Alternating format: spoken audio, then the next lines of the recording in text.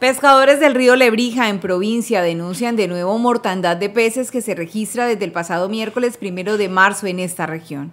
Aquí en el río Lebrija vuelve y suelta en la agua represa Araguapiche, matando toda clase de, de pescado que se encuentra en el río Lebrija.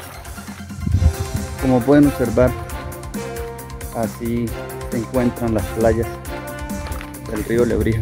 Con mucha preocupación se encuentra la comunidad que tiene como sustento la pesca en el río Lebrija, ya que debido a la contaminación vuelven a presenciar mortandad de peces en la parte media del río en el lugar conocido como Tortugas.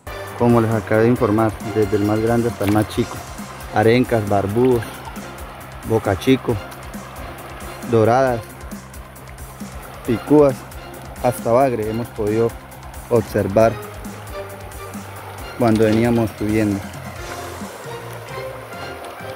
Esto es lo que ocasiona la represa, las aguas sucias, contaminadas que vienen del área metropolitana.